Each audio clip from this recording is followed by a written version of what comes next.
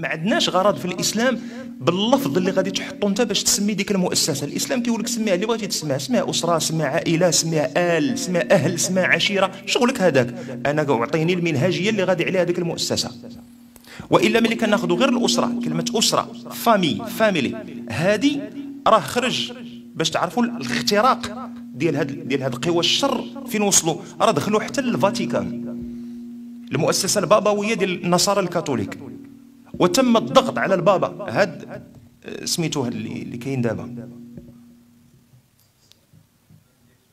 بنديكت ياك بنديكت بنديكت هاد بنديكتوس اللي كاين عندنا دابا ضغطوا عليه لدرجة أنه هذه تقريبا شي شهرين تلمكانه ولا ثلاث شهور خرج وكيقول لك أن هما ما كيقولوش الشواذ.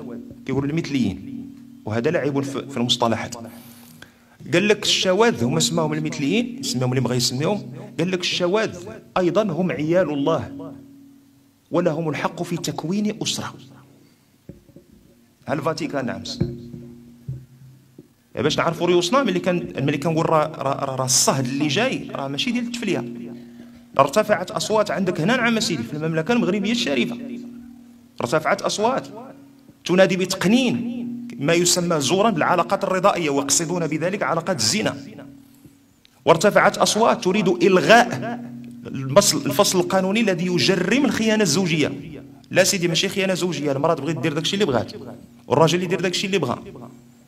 وارتفعت أصوات تنادي بإلغاء هذاك الفصل 490 نضع عليه الصداع.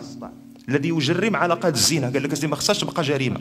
وارتفعت أصوات هذه تقريبا أكثر من عشر سنين. قال لك هذاك الفصل 222 الذي يجرم الإفطار العلني بغير عذر.